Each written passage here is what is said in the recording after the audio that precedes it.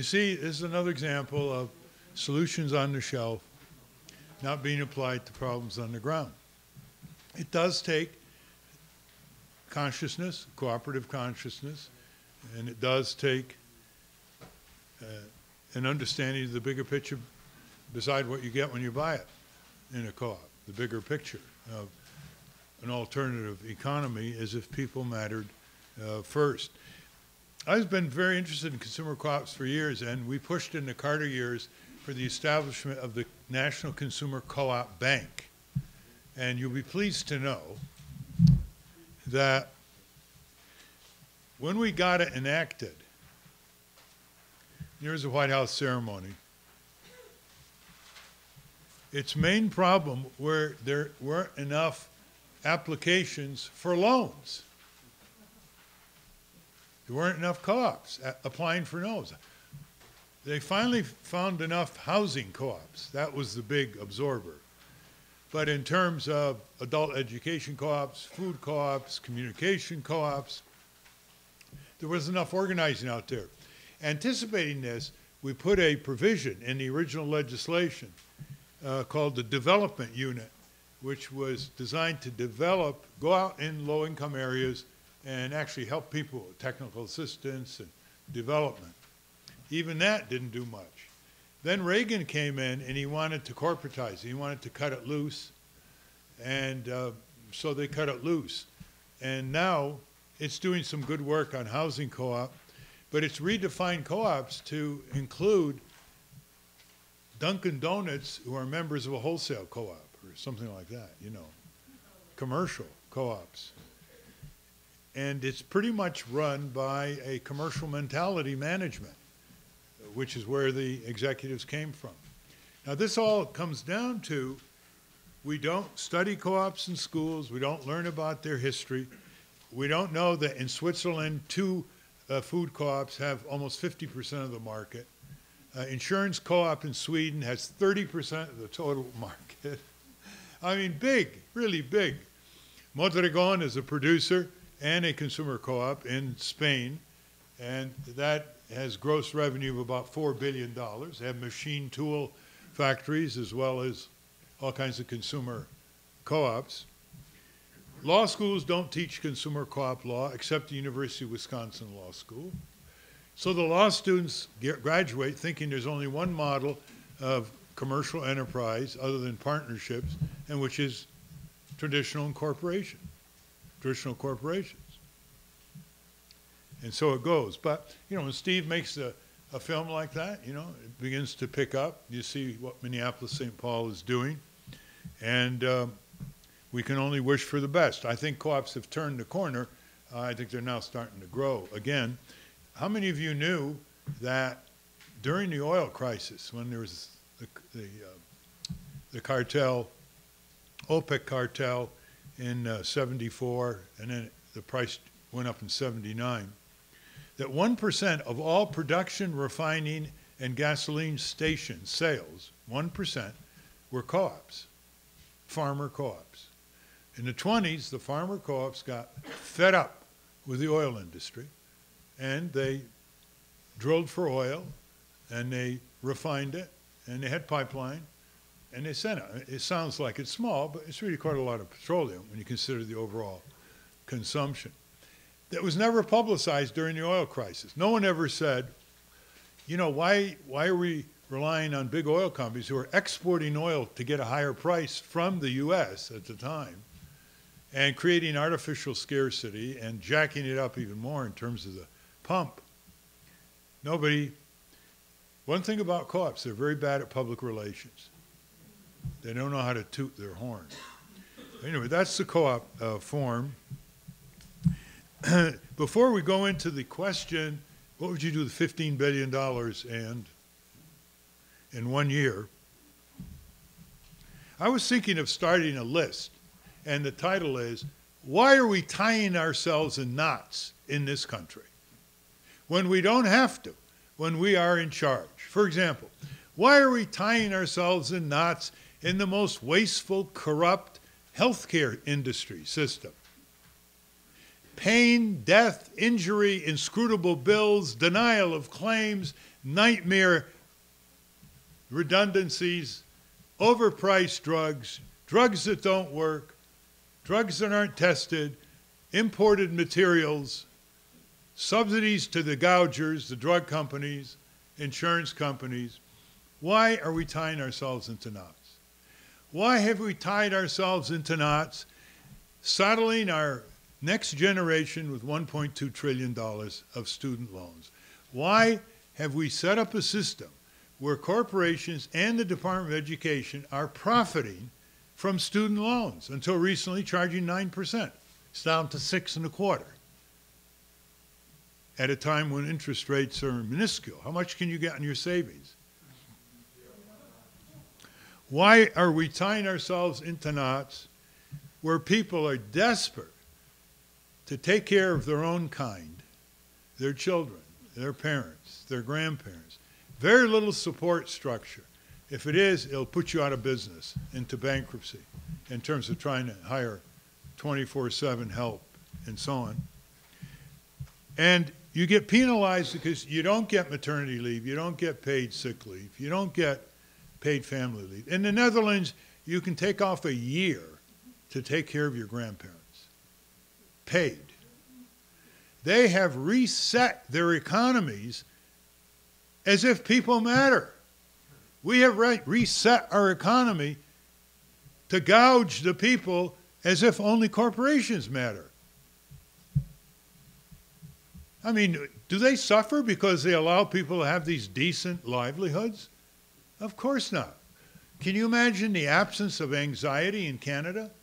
Knowing that you will never lose life's savings, knowing that you will never be denied health care for your children or your, yourself, knowing that you'll never have to work overnight trying to figure out the damn bill, which is full of redundancy and fraud, and you can't figure it out because it's in code and nobody's there to help you other than an AARP hotline? Why are we tying up in knots, trying to militarize our foreign policy and police the world when we no longer, thank goodness, have any major enemy? Why are we spending half of the discretionary budget of the entire federal establishment, not counting Medicare and Medicaid, on military programs?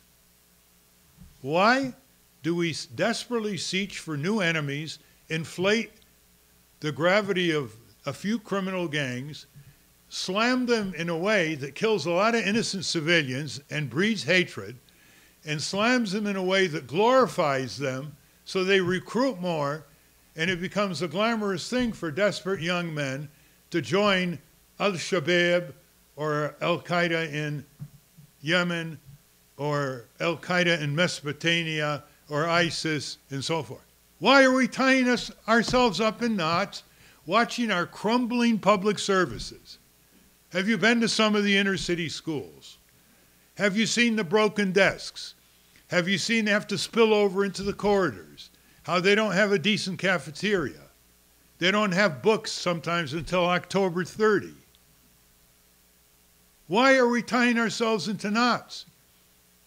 It's called convenience. It's called citizen disengagement. It's don't bother me. And we ought to get fed up with each other when we see that kind of attitude. It's a juvenile attitude. It's an immature attitude. It disgraces our courageous forebears coming right back to Western Massachusetts. Shame on us. Someone once said, Freud used guilt and Jung Lu used shame. I prefer shame as a motivator. Now, do we have any political figures talking like this? This is disgraceful. They're afraid to talk to the voters about what the voters should do, about what the citizens should do. A country full of solutions? You don't think we know how to do housing? You don't think we know how to do renewable energy? You don't think we know how to cut our energy waste in half by efficiency? We've got the engineers, we've got the scientists. Talk to David Freeman. Freeman. How many of you have heard of David Freeman? Okay, He is the greatest energy expert in the United States, which is why you've never heard of him. You have these bloviating idiots on television Sunday. They don't know anything, but they are glib. David Freeman started out as an engineer with the Tennessee Valley Authority.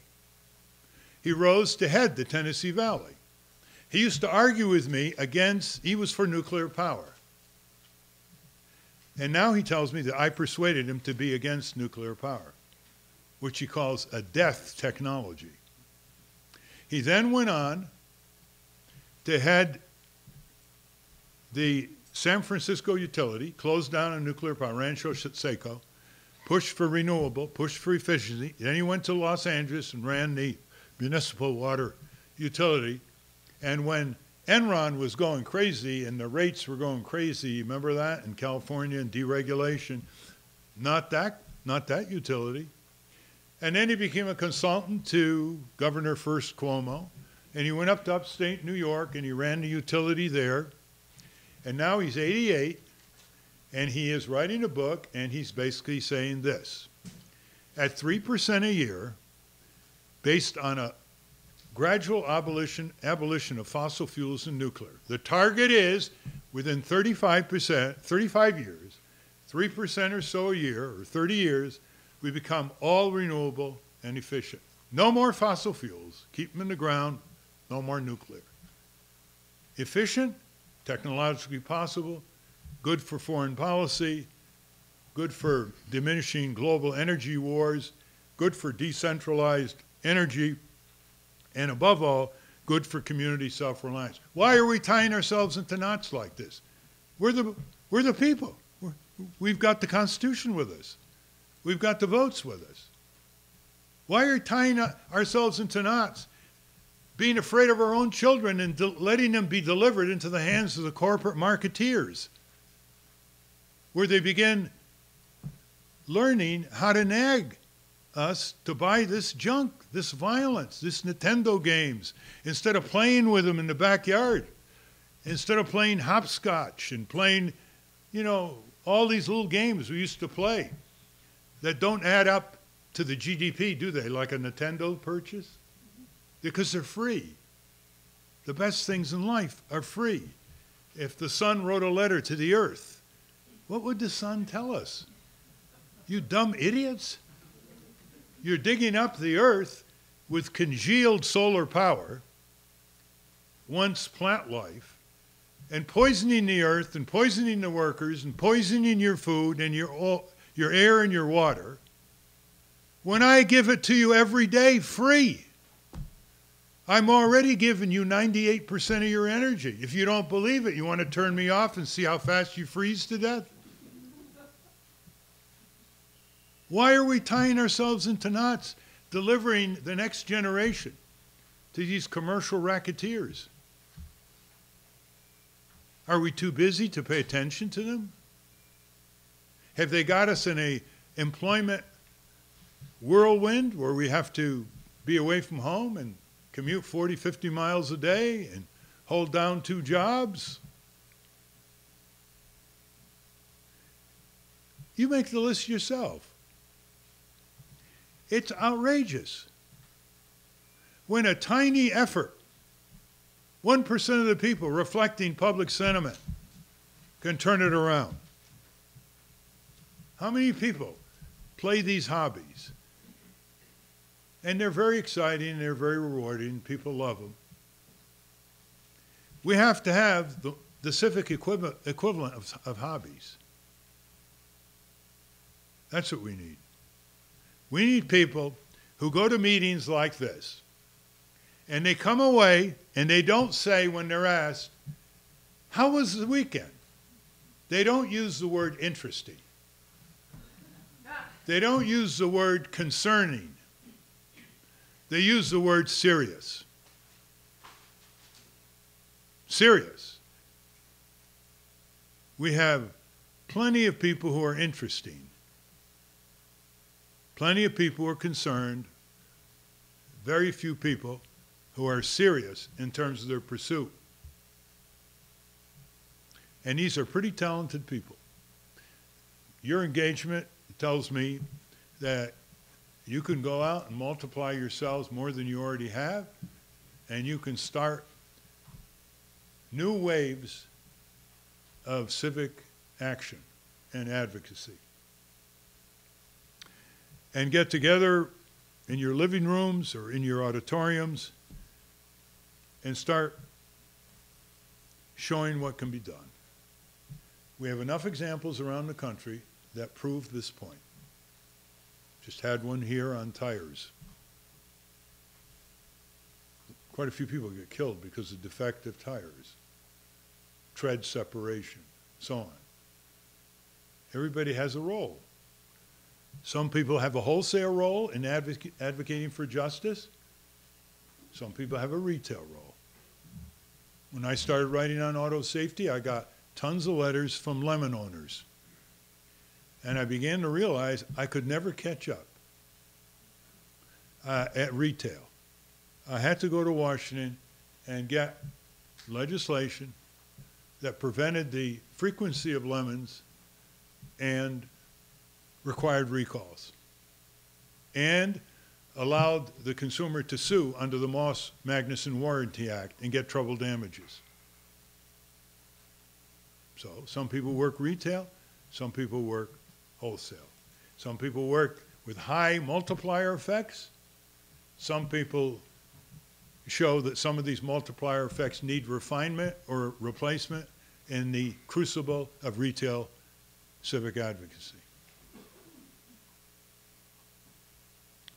We all have our excuses.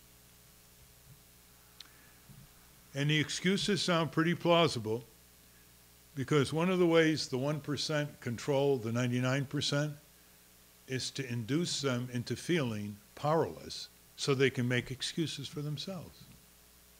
Why try? It's futile. How many times have you heard that? Why are we tying ourselves into knots when other countries who don't have anywhere near the wealth, science, technology, innovation, do it better? You should ask that question to people. I'm really addressing the people I hope you'll address.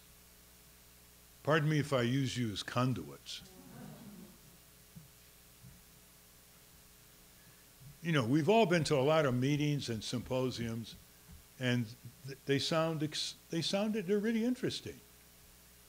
And I have nothing against personal self-improvement. How can I? Becoming an effective civic, civic advocate requires personal self-improvement. It requires reordering priorities. It requires a way to avoid the personal implosions by having a larger mission in life.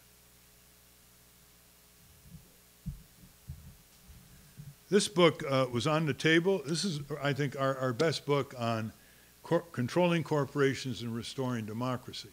I didn't write it. I just did the introduction. I don't agree with all of it. They were a little cool on third parties. But this is when they were getting beat up in 2004, you know, by the 2000. And uh, I'll give you just a little story here. And, and I want to go into the elections for a moment.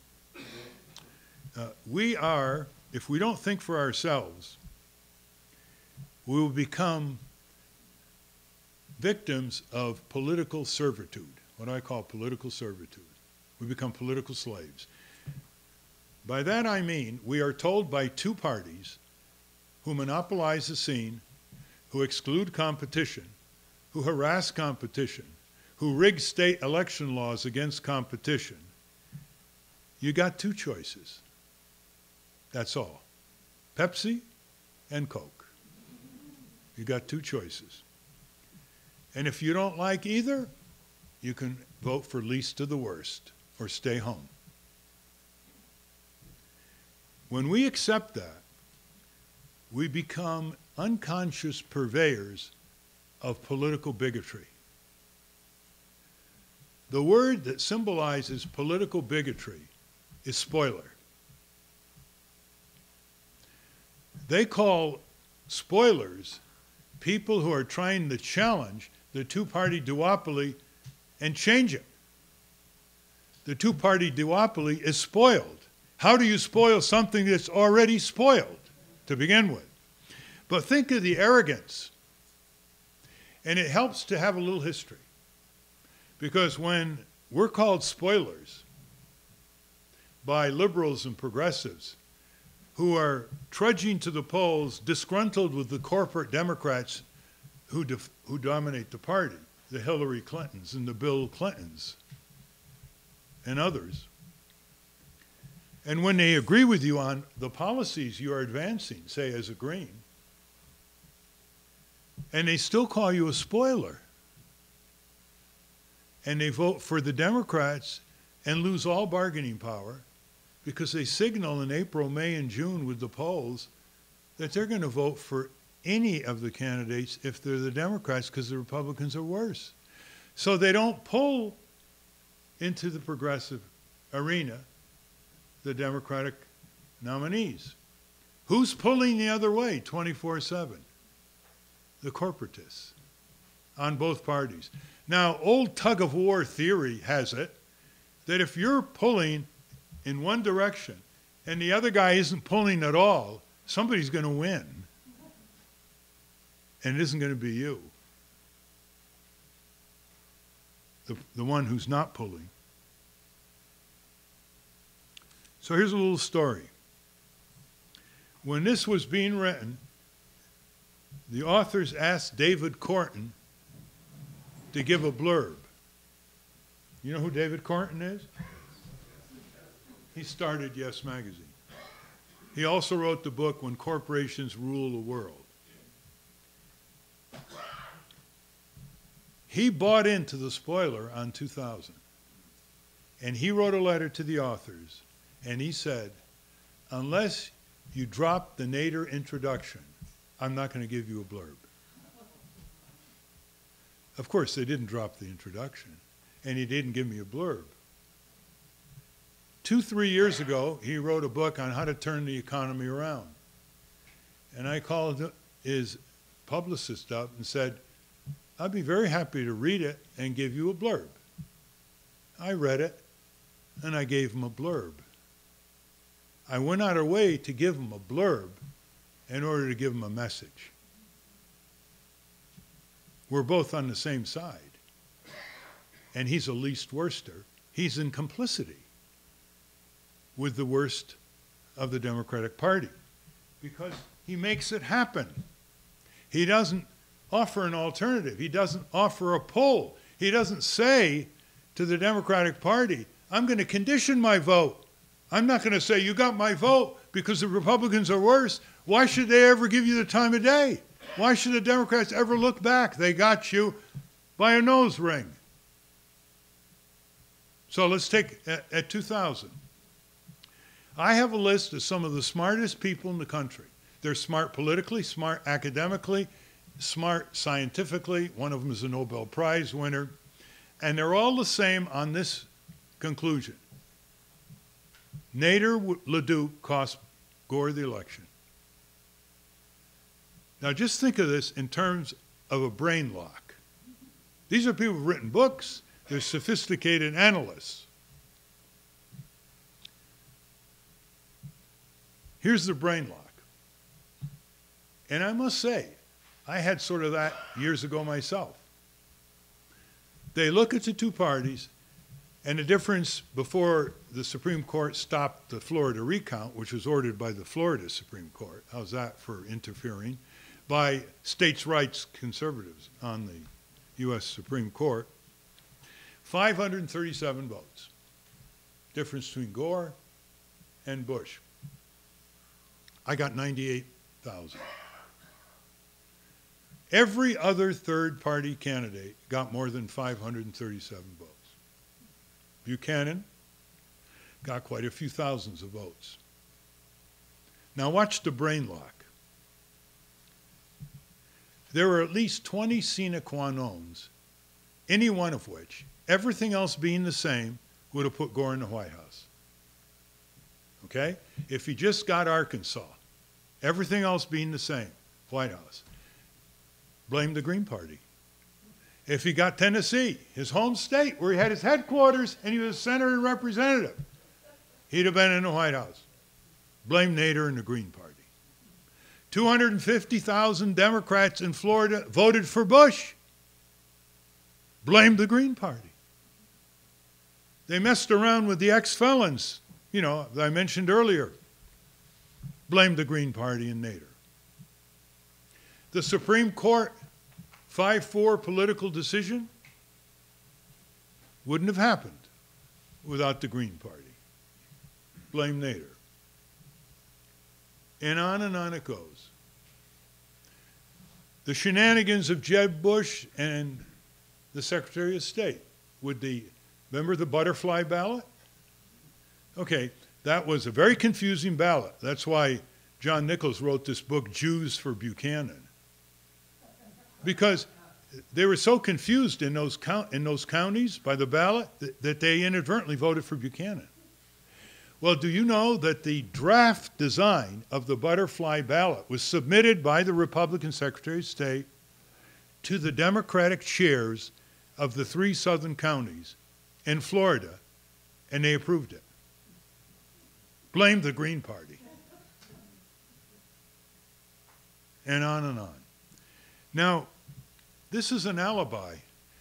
The Democratic Party doesn't want to look itself in the mirror. They want to blame somebody. They want to scapegoat somebody. So I go to the next stage. I say, Did you know that I gave all my issues to the Democrats and the Republicans? On paper, orally, take them. I want you to run with them because that's what I'm running for on the issues. Minimum wage, take it. So we, they wouldn't push for the minimum wage in Florida. They wouldn't push for the minimum wage in Ohio.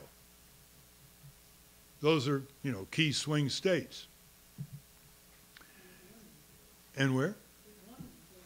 That was in 2004. Kerry wouldn't push for the minimum wage in 2004 in Florida. I went to his people. I said, look, I'm going all over Florida. This is a popular issue. Minimum wage was five bucks. There was an initiative by Acorn to take it to six. And all the fast food industry was putting ads on stop, stop, stop, don't vote for it, it'll cost jobs, you know, all that. He wouldn't take a position, and it won 70 by 72% with no ads. See what I mean? The other thing that's important is I don't really care about the Democrat Republican Party. That's not my priority. My priority are the damned and the deprived and the beat up that's what it's all about. And I'm supposed to care for a corrupt Democratic Party that tells me, get out of the way, don't run, when they turn their backs on millions of people and allow trade agreements to ship whole jobs and industry to fascist and communist regimes abroad? I'm supposed to get out of the way and let the Democrats and Republicans sell our precious elections to the highest commercial bidders? On and on. And yet, to this day, you see these people saying, You cost Gore the election. Well, you know who thinks I didn't cost Gore the election? Al Gore himself. He knew why he lost. He knew a lot of reasons why he lost. The important thing here is when the Green Party is accused of causing the war in Iraq. I kid you not. I had a legal reporter for the New York Times tell me on the telephone if it wasn't for your run, there wouldn't have been an invasion in Iraq. So I said to him, You know something? You have a level of causality that would make a trial lawyer very happy. if, if he didn't doubt your evidence. I said, What do you mean by that? He said, Well, Gore never would have invaded Iraq. I said, Well, I'm glad you have some retroactive uh, clairvoyance here. Um, but do you remember in 1998 when Gore and Clinton shoved a resolution through Congress saying toppling Saddam was a top priority in foreign policy? Not the top, a top priority in foreign policy. And do you know that Bush used that in beating the drums against doubters in the Congress?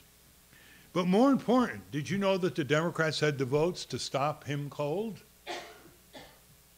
from invading Iraq in the Senate? And did you know that they could have stopped his tax cuts? All the bad things that Bush got through Congress, Democrats could have stopped. If they had, this, if they had the nerve of a John Boehner or a Mitch McConnell. Doesn't matter. You're a spoiler. It is so insistent that it induces not anger, but pathos to watch it operate because it's totally unchangeable. I have not seen one of these people ever change except a few who watched the documentary Unreasonable Man and they heard the Harvard law professor provide the data and so on. They said, well, I went into the swing states. Well, I spent 28 days in California and two and a half days in Florida. That's not exactly a swing state in California, right? I was down there, and he could have won Florida with one change of policy. He was taking money from a rich guy who wanted to buy an air, a military airport and turn it into a development because it was surplus. And the people were up in arms around that area. Because I went down there, just that was my half day there, and I said, why isn't Gore coming out for this? This is a lot, a lot of people are upset by this. They said, because he doesn't want to upset his big donor. I'm supposed to be concerned about that?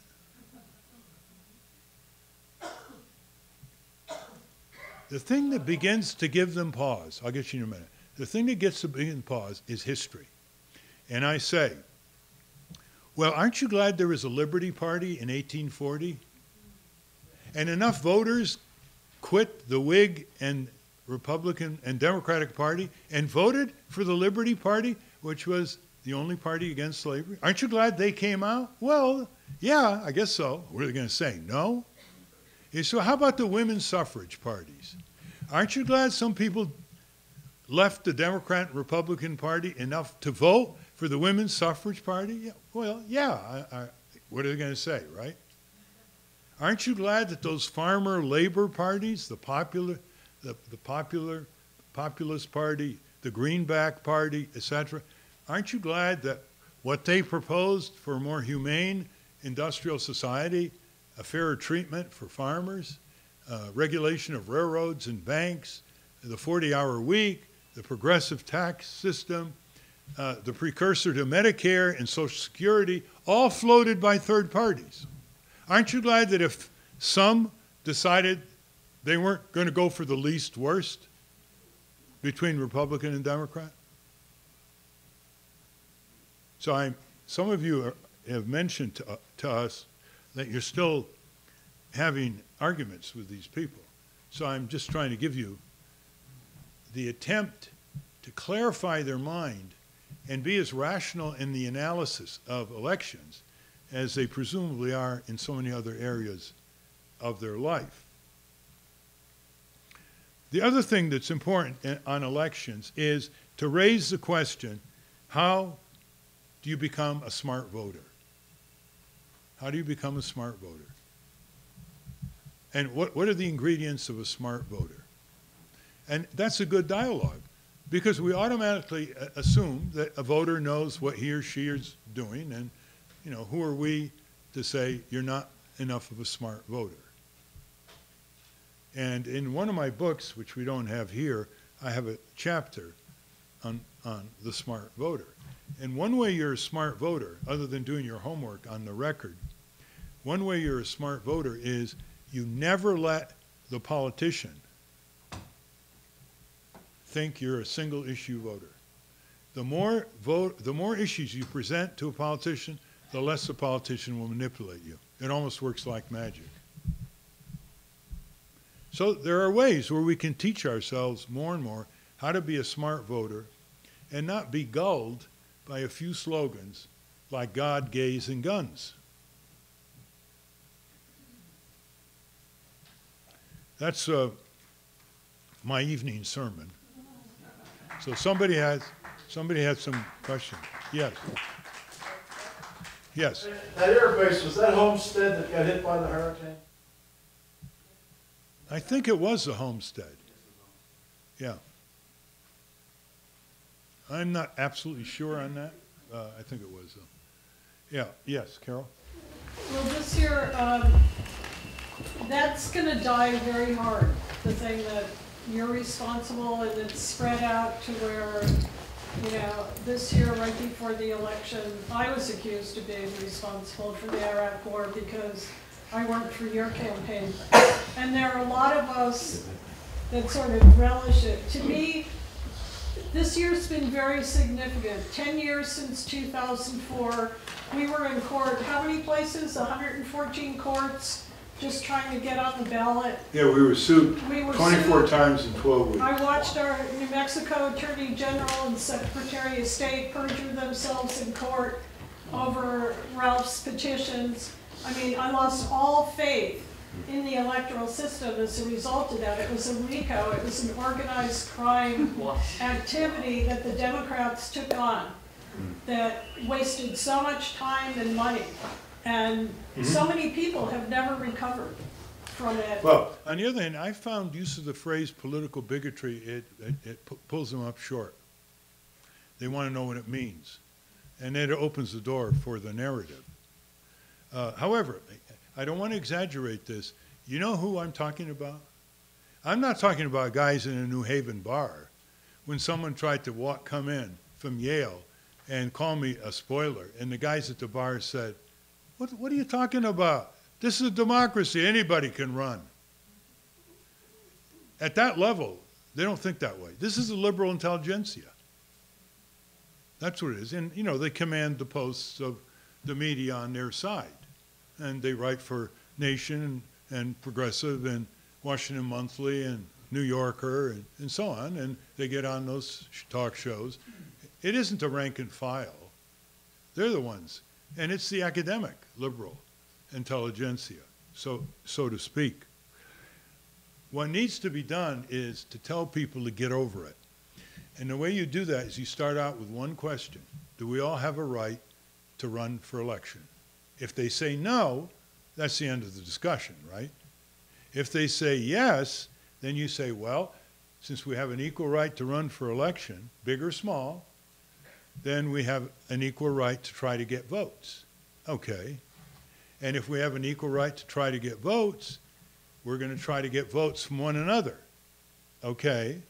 Then we're either spoilers of each other or none of us are spoilers. That's the sequence that works. Because you, you go in terms of equality under the law and equal rights and so on. And when you put it in that framework, it's different. I'm not that worried about the liberal intelligentsia. It's not like they've been winning lately. Um, they, they don't have a message. They're out of touch with the rank and file uh, more than any time in, in their history. And so are a lot of leaders of labor unions, by the way, even though they would deny that. What I'm concerned about is the uninformed, gullible voter.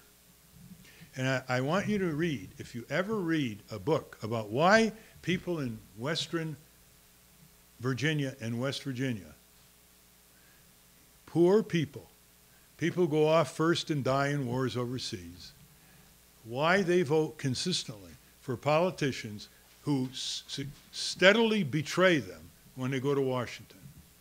And the, the best two books I've seen written by a West Virginian who spent 20 years working around the country, and he came back home. His name is Joe Bageant, and the first book is called Deer Hunting with Jesus. And the second book is called Rainbow Pie. And if you think Hunter Thompson is a unique writer, he's better. He's better in many, many ways. And he, he just died a couple years ago in his mid 60s, and he epitomized, other than in his mind, he epitomized how they damaged their health with soft drinks and eating the wrong grease stuff and so forth. And he would talk as if he was part of them, because he was part of them. Only, he was unbelievably insightful about power and the deployment of power. Uh, okay, can we go, do you want to talk a little bit more about this? Yeah, go ahead. I really have um, three things that I'd like to ask about. My brother's a history professor. When I s- told him I was coming to this weekend, he said he promised he wouldn't campaign in the um, swing states. And uh, you sort of spoke to that, but not, not quite. I never promised. Uh, I promised I'd campaign in all 50 states, which the other guys wouldn't do because they go red state, blue state. You run for president of the United States, you, you should campaign in every state Hawaii, Alaska, Maine, Florida, so on. Uh, it's just that I thought I'd get more votes by spending more time in a place like California than Florida. It wasn't, it wasn't to protect the Democrats, it was try to get to 5%. So we would go for a next round with, with, with uh, roughly, could have been $12 million of election campaign funds off the checkoff. And that's what that Harvard law professor documented. Uh, You can, you can get that off Netflix, can't you, uh, uh, Reasonable Man? Yeah. It, it's one of the few films that actually changed people's minds on this issue. And you'll see how they do it. They didn't sugarcoat anything. It was balanced. Okay. Was The other question, I mean, uh, I want you to talk a little more about, um, uh, the elephant, in, think, stop thinking of an elephant guy, Oh, the Lake Up. Lakoff. But I, I also want to add, I mean, this is more relevant to the election. Yeah. Why didn't Gore and his people say, count all the votes? Well, why didn't they, you remember in Michael Moore's film, Fahrenheit 9/11? You remember when uh, he, he literally, the- the Black Caucus sent people over to the Senate to raise the issue on the Supreme Court decision and so forth, whether it was constitutional itself, because under the Constitution it should have gone to the House, and so on, and he kiboshed it. And I think the reason why he did it is, he didn't want to be a sore loser and he was thinking of running again. That's the only reason I could think he did it. Yeah. Well, first of all, first of all, it disrespects the voters. I mean, look how, look how the Democratic. He betrayed me. Yeah, that's right. Here's how the Democrat Party disrespect the voters. In 2012, they didn't run anybody against John Boehner in Ohio. Now, think what that says. That says to the Democratic voters, we really don't care about you. We're going to put our money elsewhere because Boehner's going to win. So why give you a choice of a Democratic nominee so that you can connect and talk about it and not be, in effect, orphaned by your own party? They have, they have no respect for the voter. And so what did, what did Boehner do? He came in with 94% of the vote, and he spent all his time raising funds and fighting Democrats in, in, other, in other districts. These people should be fired. You've got Steve Israel, Nancy Pelosi, and Steny Hoyer. They're three-time losers. I just put out a statement. I'm saying adhere to the basic principle of baseball. Three strikes and you're out. Step down. But no, they, he's going to step down, Steve Israel. Uh, he's the campaign chief in the House because he's sick of it. But those two, they're not going to step down. They'll keep losing and losing and losing. That's the sign of a decayed party. You fail and you don't get replaced. That's why so many labor unions were corrupt, because the bosses kept staying on, corrupt, larding their own pension funds, and you know you've read about all that. And they'd go into their 70s and 80s. And the advantage the corporations had was they had a retirement, so they had to get new people. Signed. There's no flunk. There's no flunking grade. You take an institution where there's no flunking grade on the part of the leaders, you can predict decay. Someone else? Yeah. What about, um, speaking to that, what are your thoughts on term limits? I'm for term limits, but 12 years, not six years.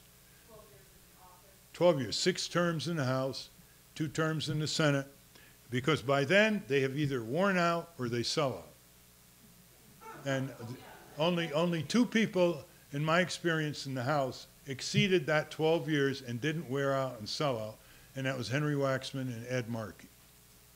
And then Markey began to wear out. Waxman never seemed to wear out, but he retired. Huh?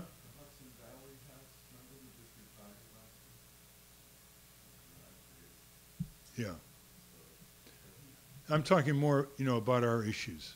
Uh, So, someone who hasn't asked or made a comment? Tell me, who hasn't made a comment or asked a question? Okay? Why not? Um, I, uh, I'm, I'm used to standing because I, I'm I'm a Granger. Okay. You were taught to stand when you were the crowd. Um, I had read a, a book, um, can't remember the title, uh, so, the, the author's name, Decline and Fall sometime this past year. And there was a discussion in there about the role of consensus in decision-making. And this author uh, put it out that really that's why uh, Occupy Wall Street uh, just sort of fell apart because there was no accepted uh, means to control the decision making and to make any progress. And so the whole thing just fragmented and, uh, you know, the, there were, there, no decisions were really uh, uh, achieved. Most of the police sent homeless people there, and they couldn't turn them down. So. That really, that really diverted them. That So was I'm, I'm cool interested in what you think about the consensus model, or how in a, in a group, when you're coming together and, and there is a lot of energy and passion, but, um, how do you, how do you build something that actually people can feel that they can move forward and really take, work together on Well, something? I thought it was very attractive to have a consensus model, and they would have these little, uh, what do they call it, the, when they, mic, op- mic, what? Yeah, yeah. And it was nice. The question is, at a certain level, there's going to be disagreement on serious strategy. So what the consensus model does is paralyze it because it doesn't pass the consensus model. And the consensus model is, in most cases, 100%. It's not 90%.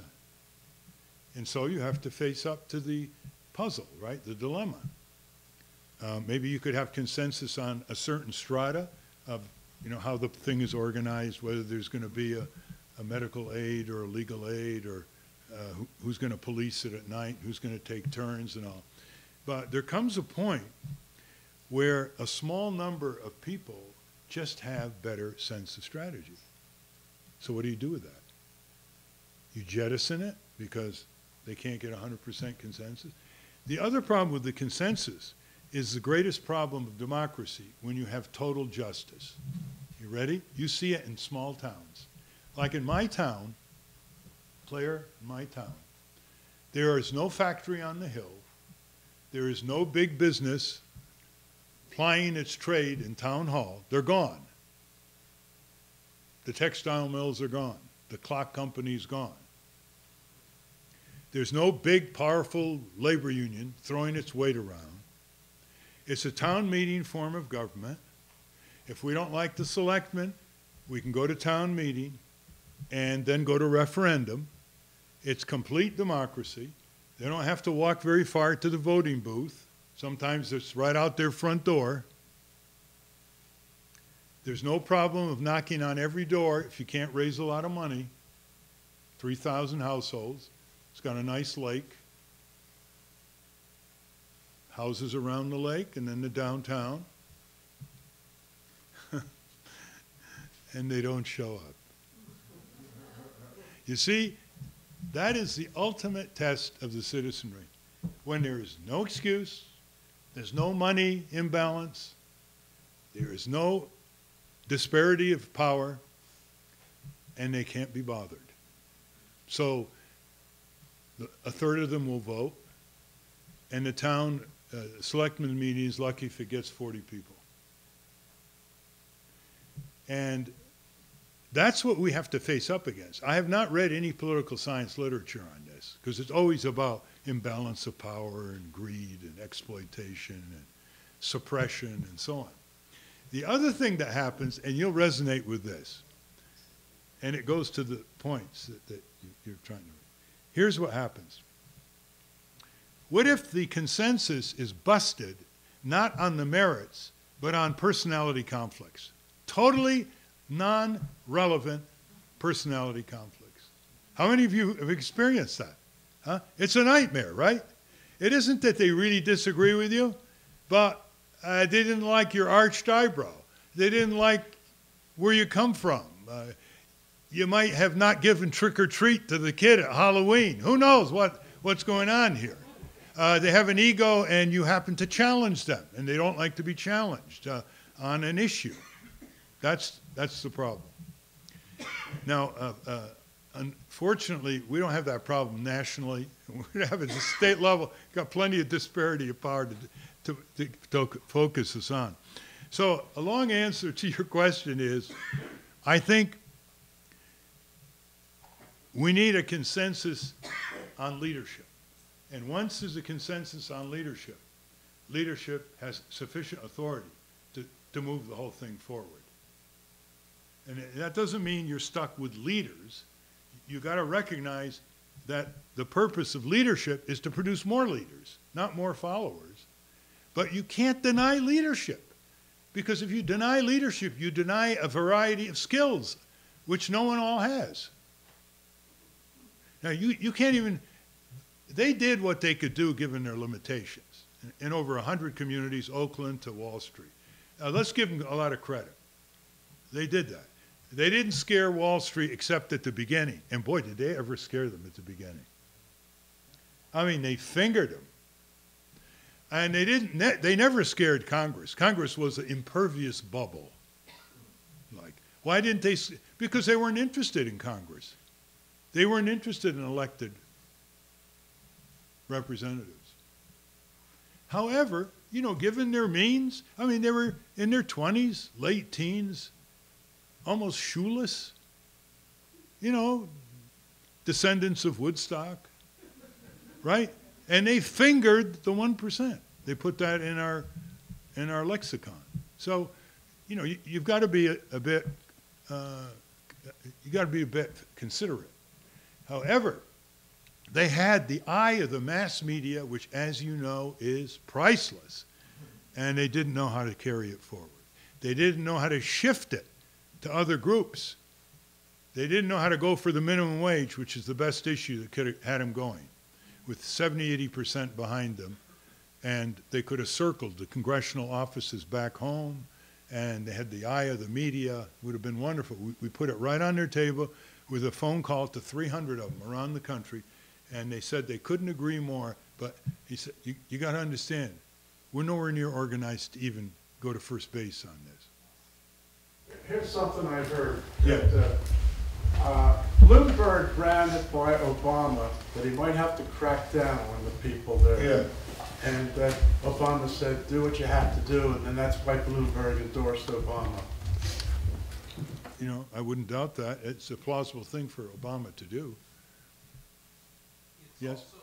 Yes? I just uh, want to know your opinion of Bernie Sanders. Also, Saunders. Oh, oh, Bernie Sanders, the Lone Ranger. My opinion is that he's a, a, he has very good policies. He speaks out on the Senate floor, very good on drug prices, and talking about Canada, health care, single payer.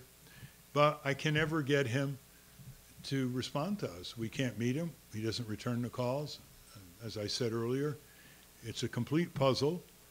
Um, and as a result, he can't multiply his influence. He's not a networker inside the Senate, um, and he's not a networker with all the citizen groups around. I mean, we had the major conference on corporate reform in 2007. Who, who did we want as our chief speaker? Bernie Sanders. He said, well, if the Senate is not in session on Thursday, I'll be there. It's right up the street, you know, half a mile. Well, the Senate adjourned, and he didn't show up he'd gone to Vermont. I mean, it's just, it- it's just rude. But it's more than rude. It's that we don't need Lone Rangers. We don't need Lone Rangers. We've got plenty of Lone Rangers in the Senate. We need people who can build. We need people like Teddy Kennedy who could build coalitions. We don't need Lone Rangers. Lone Rangers just make us feel good. They never win anything, hardly. So if you know, if you know Bernie Sanders, tell him to explain this. I mean, when he went on the floor of the Senate, remember that 12-hour great speech on corporate abuses? I called him up and I got an aide. I mean, I knew him before he was mayor of Burlington. I called him up and I got an aide. I have never ripped into him, by the way, publicly. I called him up and I got his aide. I said, can I talk to Bernie, please? So he put it on hold. Minute later, he comes back. Uh, Bernie is tied up right now. I said, well, give him the following message. I want to congratulate him on a spectacular demonstration of progressive statements. And I want to urge him to turn it into a book. Have him call me. Never called me. Called him back. Never called me. I mean, this is what it, it is now in Washington. If, if, if the senators who we worked with in the 60s and early 70s behaved that way, we wouldn't have any of these laws. We wouldn't have environmental laws, the OSHA law, the Freedom of Information Act. We had people like Proxmire.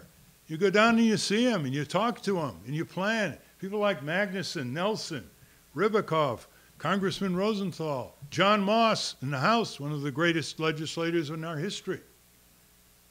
I mean, what are we doing here? Fooling around with idiosyncratic traits? Huh? My only explanation is that they don't want to be pushed further than they are. They think they, they've pushed the envelope, the progressive envelope, and they don't want to be pushed or criticized from the left. They're very often, you know, working with people in the middle and sometimes in the right. Uh, but that's my only benign explanation.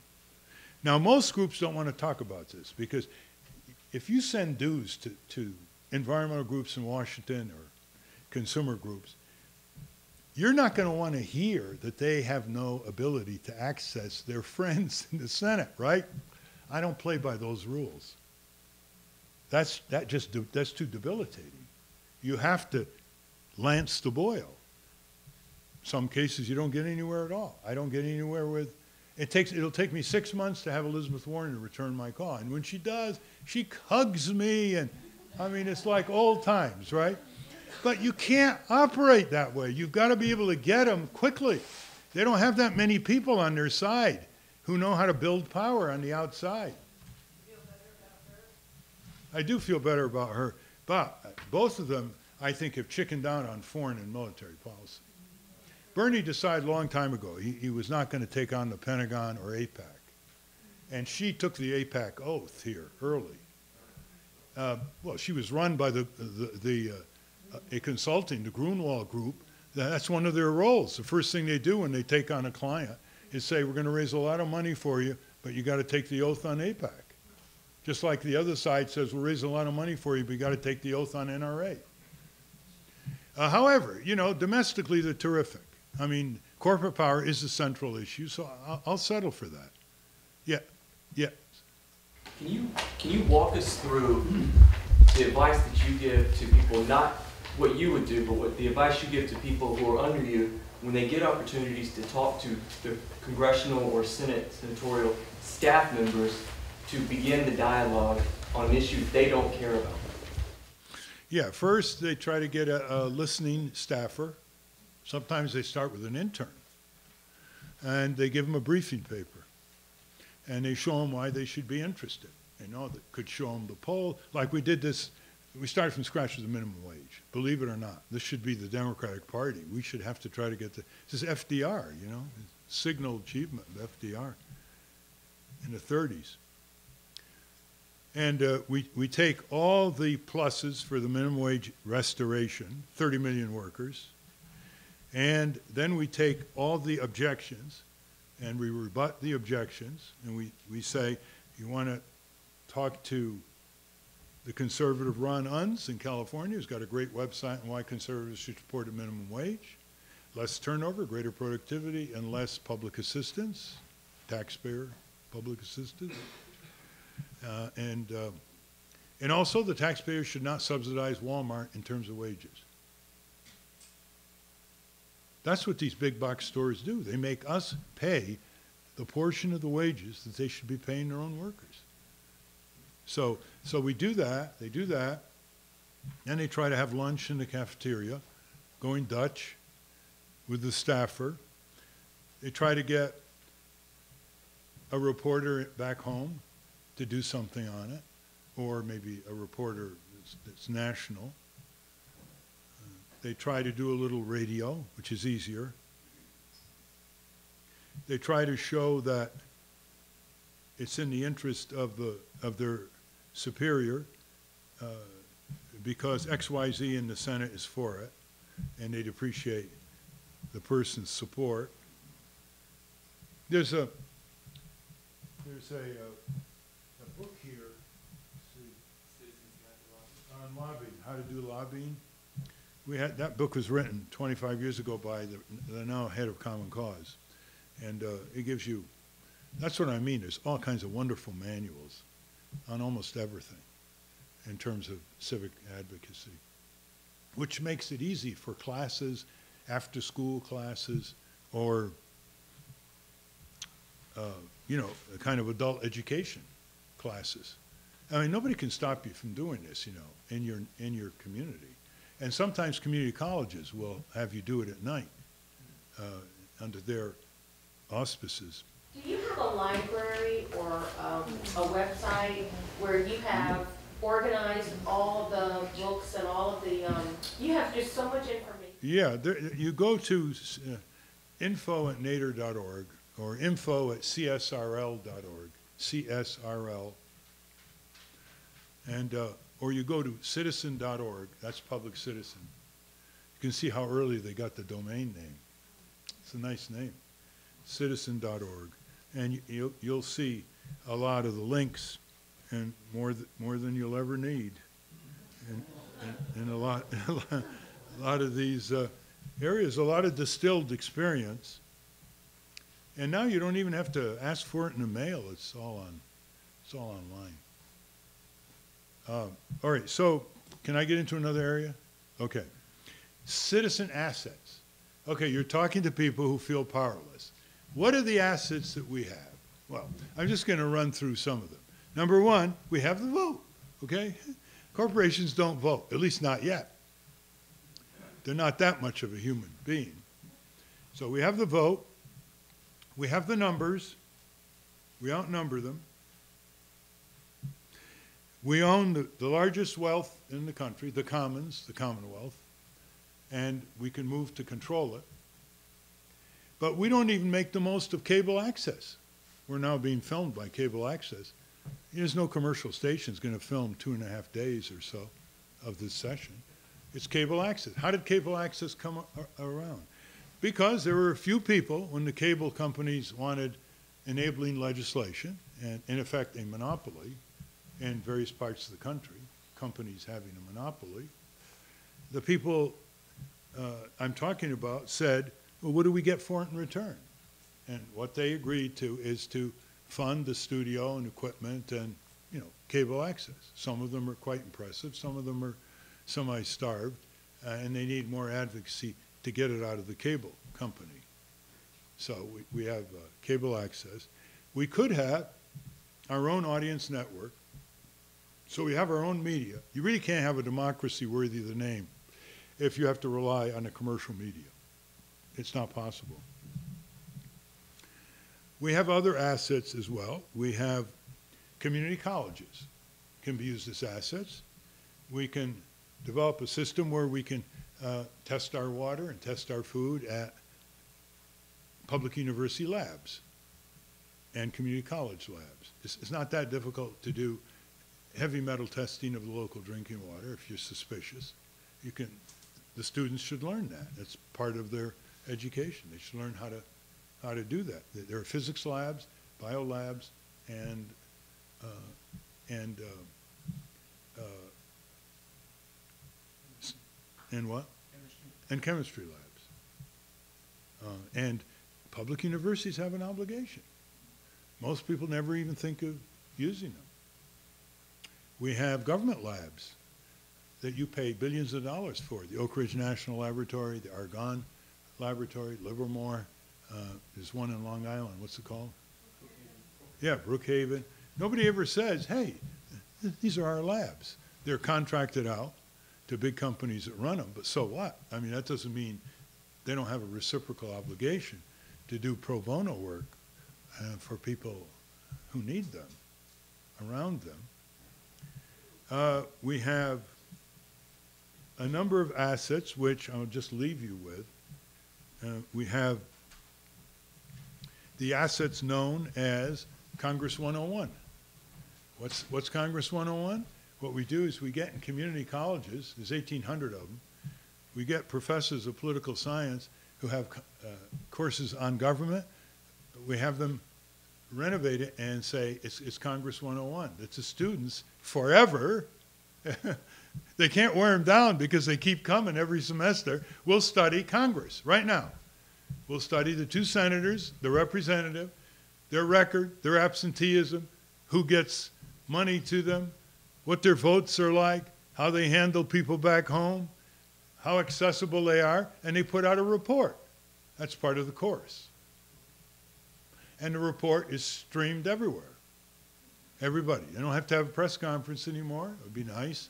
But that is an asset. And I guarantee you, that course will be the most important thing in the minds of those representatives, because that's the only watchdog. And uh, the, the members of Congress will try to fight back. They'll try to charm the president of the community college. Don't you know I got you a grant to build this new building? And that's going to be a problem. But people outnumber this. They, they've got the force to do it. They can prove that the students will learn skills of monitoring Congress. They'll be very motivated because they'll have the attention of the senators and the representatives, and they will feel a higher sense of their significance, and all for course credit. What's there not to like? You're paying for it. Why not get something back? So you can create these kinds of assets in a relatively modest, modest manner. One of the things that Congress 101 would be is to force the member of Congress to put their voting record on their website. Only about 10% do because they don't want you to know. So they'll steer you to some murky Library of Congress website, which is hard to, to retrieve. The surveys show the number one thing people want out of a congressional website is a, is, is a voting record. So you can create these assets out of the basic fact that you're the voters, it's we the people, you outnumber them, and you, you're, you're right there in the arena of action. Back home, they don't care what's in the Washington Post, they care what's in the Greenville paper. So you've got them in a very sensitive Uh, place. Somebody had a question? Do you have any other assets you want to? Yeah, any other assets? I actually had a very general question, I'm going to ask it first. Okay. And it was also based on your sermon. Okay. What is your perspective on the current vision of what this country is about?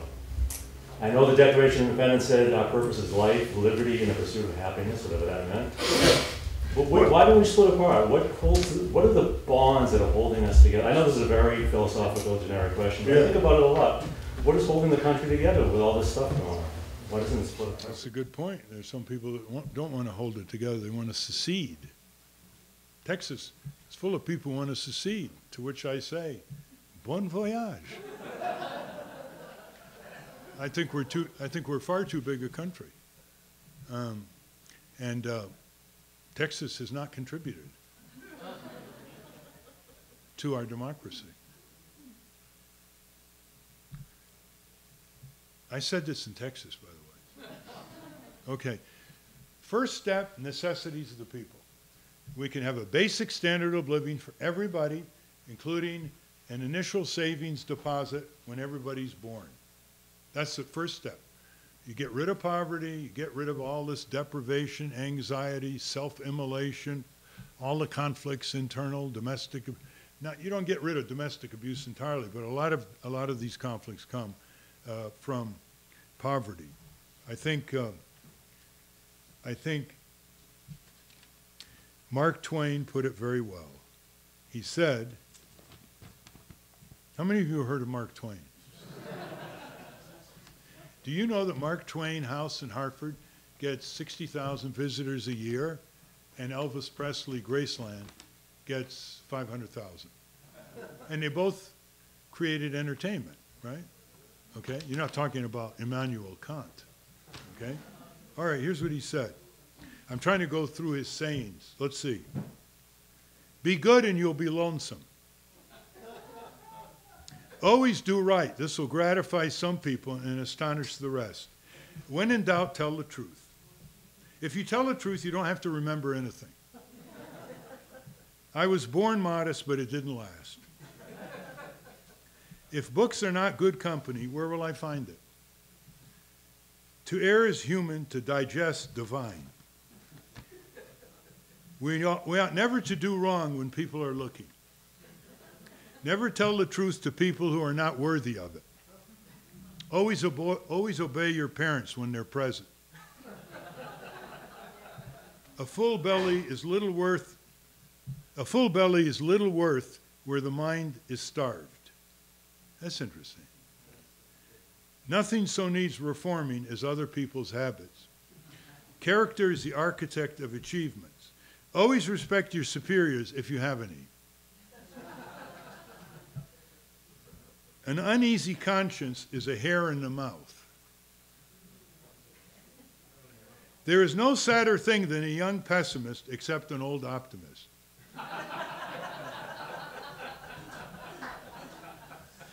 the man with a new idea is a crank until the idea succeeds.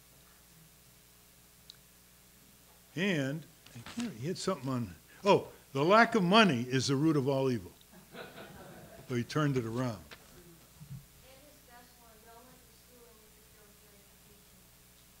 Oh, yes. um, so the first is necessities, okay? Then the second is a phrase that John Gardner knew, used. He said, We should have a society that allows people to fulfill their life's possibilities. And he told me he worked hard to find that, just the right phrase. And so, see, that allows variety, choice, but it's an upward push life's possibilities. And you got to be impressed. And I'm impressed more and more by people when they are confronted with realities of life come down the same way again and again. There's a basic sense built in of people of fair play. And uh, I don't want to Pollyannish it because you, know, you always can give examples to the contrary. I'm more and more respecting tradespeople, uh, plumbers, electricians, carpenters, uh, people who put roofs on homes and really know their business. And, and it's really very refreshing. You know, all the screw ups in the military procurement, all the things you see, and how all these rich and powerful people screw up again and again. By their own standards, they screw up and uh, just get away with it. These are people who get up in the morning and they really do a job. Uh, and if they don't do it, they come back and do it. I'm not talking about plumbers, electricians, and carpenters owned by big companies, you know, employed by big companies. I'm talking, you know, small town. They just can't face people if they, if they roll them over too often. So again, it's what Wendell Berry said. When you know where people are producing your goods and services and they're nearby, you know about them, you can hold them responsible, you can get them to do better, but if they're 6,000 miles away, filtered by a, a giant multinational corporation and cruel subcontractors, you're out of it. You don't know. I mean, most people don't know that 80% of the ingredients in the medicines come from China and India. Why? Don't the drug companies make enough money? Don't we give them enough tax breaks and free research and development? Hundred and ten Americans died because there was a contaminated blood thinner in, imported from China uh, several years ago. They died on the operating table. You know, there's, there've been contaminated fish, defective tires, remember that one from China? The defective tires that came in? Yeah. So, um, you know, we can go into more detail, but, you know, when you're facing such penury and poverty and just uh, all the things that we should be ashamed of, I mean, let's go to that level first. Someone else? Yes. What can be done about Citizens United? What can be done about Citizens United? Forget it. Forget it. It was bad enough before Citizens United. It's going to be more money. Let's start mobilizing the vote.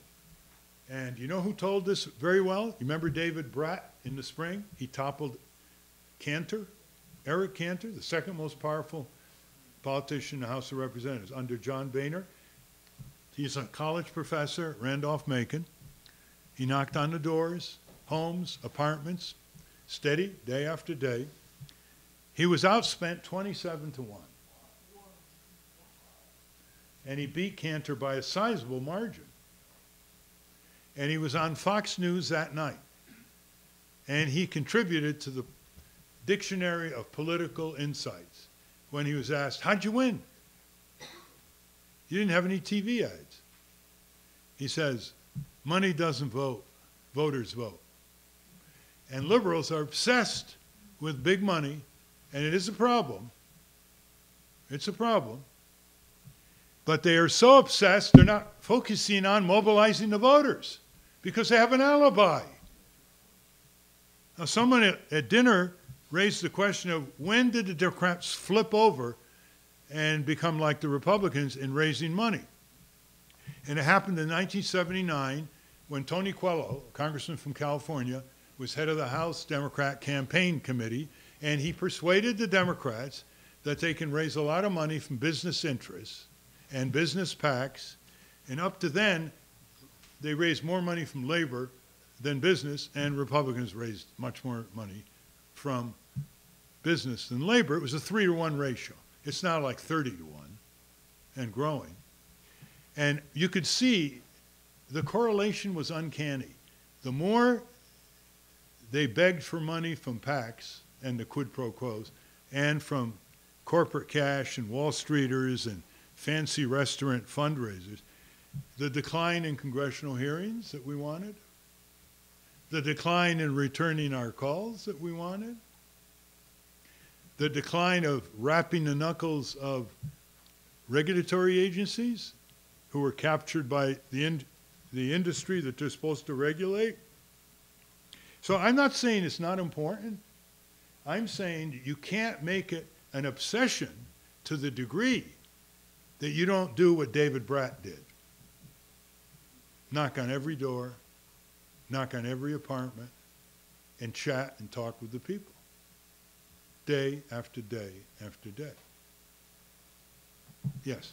What happened to that other avenue to pass the minimum wage bill with, I think the petition, or the discharge petition? Yeah. The ten-ten bill? In Whatever late Feb- happened with that? Yeah, in late February, the Democrats, to get around Boehner, who blocked the vote in the House on a minimum wage because he knew he was going to lose, left, right, they put a discharge petition out.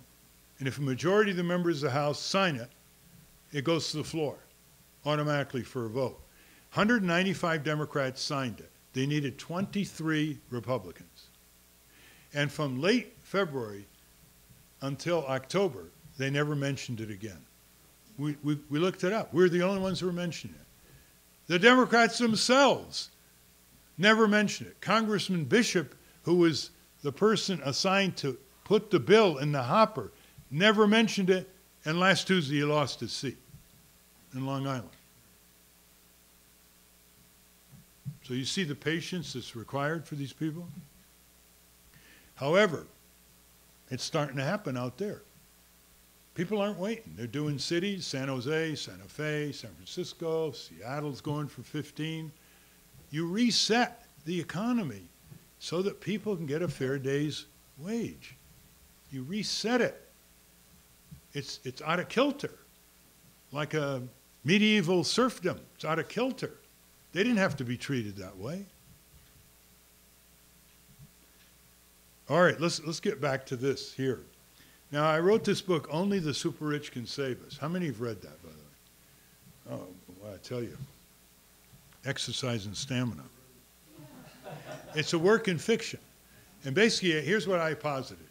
Right after Katrina, you remember the bodies bobbing? They couldn't even collect the bodies. It was absurd. It was a complete breakdown. And sitting in his living room in Omaha was Warren Buffett. This is fiction. Warren Buffett, day one, day two, you got people fleeing New Orleans on the sides of the road. There's no food, no health care, you know, desolate. They got the kids there. It's cold at night. And so he gets fed up and he hires whole trucks full of food and shelter and you know tents and so on. He goes down himself with this whole convoy and he starts passing out. And the word up the line was some millionaire, billionaire from Omaha who's helping us out, thank goodness. And he gets to an extended family, and the grandmother, very, very worried about the kids. She sees him coming with the help. They had health care workers and so on. She grabs his hands and she says, Only the super rich can help us. That's the title of the book. So, can save us. So he goes back. He drives all the way to Omaha. In his mind, he's saying, Only the super rich can save us, she said. I am not going to leave my wealth to a posthumous foundation. That was his plan in reality. He was going to create the biggest foundation in the world. After he died, he says, No, no, I'm going to get going now. So he gets 16 multi mega millionaire billionaires, many of whom you know Ted Turner, Yoko Ono, so on. And each one of them has their own constituency, right? Yoko Ono is the art. Barry Diller is TV, radio, mass media. William Gates Sr. deals with the legal profession, Bill Gates' father. And so each one of them had a Rolodex in an important sector in the economy. That's how he chose them. He got them to Maui, as I mentioned, and they plan around the table. One year, money is no limit. We're going to organize the country. Clean elections party. We're going to mobilize the workers. We're going to push for solar energy. We're going to do this. We're going to do that. And because we're, we've got this plan to take on Wall Street, we're going to do it all in private for five months until May because we don't want to get interfered with. We're going to plan the whole thing. We're going to hire 1,000 recruiters to get the best talent from communities all over the country. We're going to have little clever things like patriotic Polly goes on television for 15 seconds saying, get up, get up, America needs you, or whatever. And Patriotic Polly has 14 million email followers, you see. Got to use animals. Anyway, it's got a lot of humor, it's got tension, it's got the ogre. And in the middle of it, when they were starting to succeed, it goes right up to the White House and Congress. When they're starting to succeed, Buffett's flying from Miami back to Omaha with an aide in his private jet. And he looks to the aide, he says, You know what? We're getting this done on $15 billion. That's less than a third of my wealth. We're changing this country. We're finding the community leaders. We're giving people a sense that they can regain their sovereignty. We're unleashing the solutions. They're, the media is giving us all kinds of free media because they know we're wealthy. And just to make certain, Barry Diller bought a whole string of radio and TV stations around the country. Now, people say, why did you take 730 pages to do this before it was abridged to 450? Because I made it credible. Detail, strategy, tactic, rebound, anticipation, counterattack, personality problems, everything. We took a, a redneck district in, Col- in Col- Oklahoma where the guy has been representing it, the chairman of the Rules Committee, very powerful, had the people in the palm of his hand, all kinds of pork, all kinds of rah-rah, and the challenge was, how do you defeat him? That's what I put the challenge before me. And there's some pretty interesting techniques and rallies and rhetoric that was used to undermine and defeat him. He was considered unbeatable. Now, when I sign the book, I say to imagine is to envision. If you cannot imagine a future, you cannot envision real possibilities. And we don't do enough imagining. We don't do enough utopian thinking. See, that's what is possible, the scenario of the future.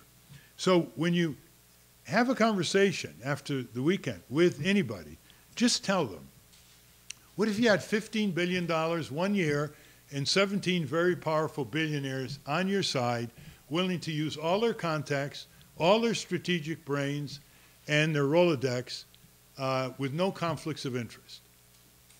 What would you do the 15 billion? And you know what that, I mean, first of all, their jaw drops, right? Like, our imagination is always restricted by the statement, there isn't enough money. Where's the budget? How do you hire people with no money? Therefore, we never unleash our imaginations, right? So just start that. I, and, and first of all,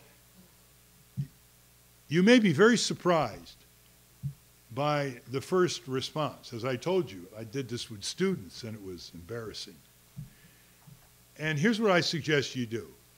In the book, Only the Super Rich, I devised a silent period where they would be around the table in Maui, in the hotel, planning their next month's action. And there would be a silent period when they would sit around the table and no one would say a word for X number of minutes for contemplating what they were talking about. So you want to say to people, because it's a little unfair to catch them off guard with a question that never they never heard of before. Tell them, try to spend 10 minutes thinking, and I'll, I'll get back to you. So, I mean, I've given away my, my approach, but we have to start, start asking ourselves these questions. How do you take over Congress in 10 easy steps? How many people do you need? What do they have to give in to make it happen in every congressional district? Do you know what's out there in terms of monitoring Congress for the general interest? Almost nothing. There are auto dealers, insurance agents, NRA chapters, AIPAC chapters, uh, some women's rights chapters, but the overall omnibus performance of Congress is not on the table. And collectively, they should be replaced because they have failed collectively. And you just can't say, well, th this person is good, I'm, gonna, I'm not going to replace. They should all be replaced.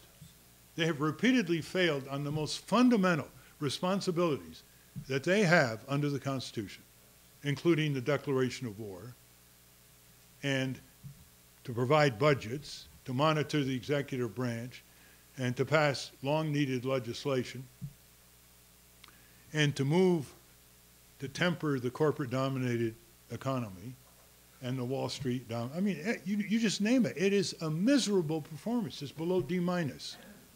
They're paralyzed, avaricious, self-seeking collectively. There are always some good people.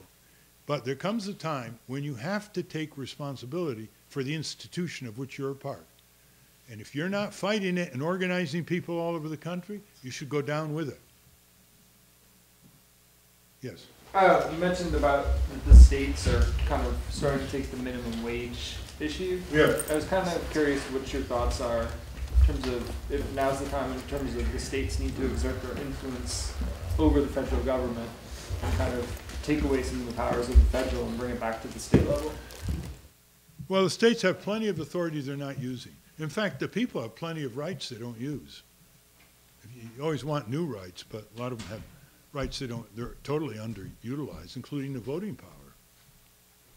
Uh, So I, I, I think they have a lot of uh, influence, except, let's face it, the biggest money is collected by the federal government. And they have things like revenue sharing and all kinds of things like that. So I would make them prove themselves within the areas that they have rights and, and jurisdiction before I'd give them any more. Um, And I would take away them setting the rules for ballot access for federal office.